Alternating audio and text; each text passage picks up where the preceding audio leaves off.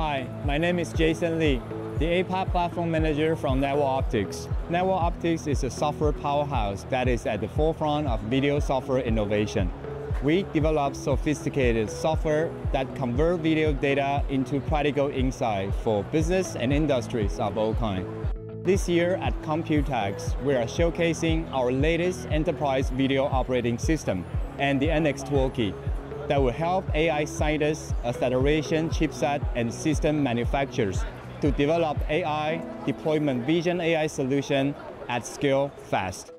In addition to the activities and demo at the booths, we also actively discuss ARX, the Open AI Accelerator Exchange with software and hardware partners.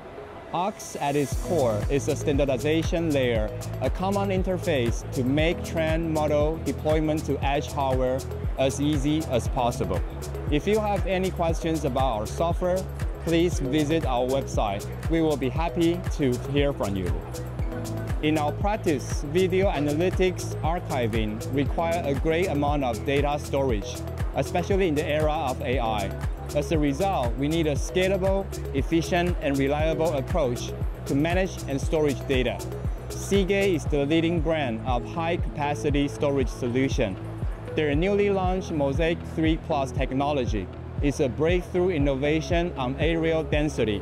Mozaic 3 hard drive can double the capacity to have better TCO per terabyte for user. That's where the future is read and written.